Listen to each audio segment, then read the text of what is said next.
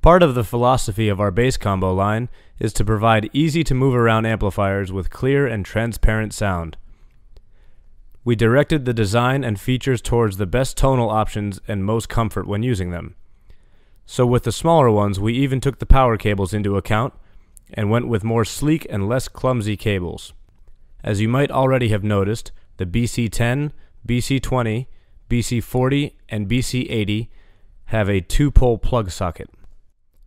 There is no third prong for grounding, and the amps are shipped with either a two round pin power plug in the EU or a two flat prong power plug in the US.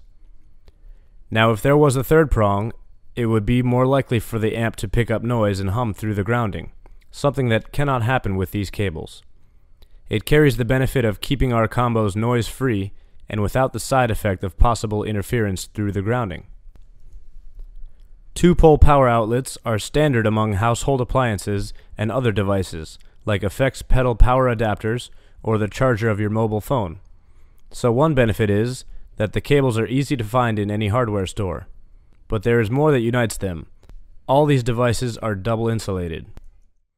This is a rigorous safety standard for low voltage devices and ensures that you have a secure and reliable circuit inside your amplifier. Here's how it works.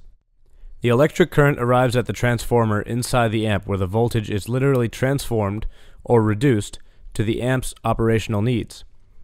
This transformer is insulated twice so that it is simply not possible for any of the live electricity to connect to the secondary electronics or the housing.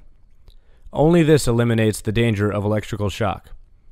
Usually, you'll identify a double insulated device by this symbol. The safety tests that a product has to pass to meet the double insulation standards are strict and rigidly precise, since they have to guarantee a safe use even at the device's power maximum. So this symbol at the back of your bass combo lets you know that a lot of thought, effort, and reliable technology went into making the state-of-the-art amplification system that it is.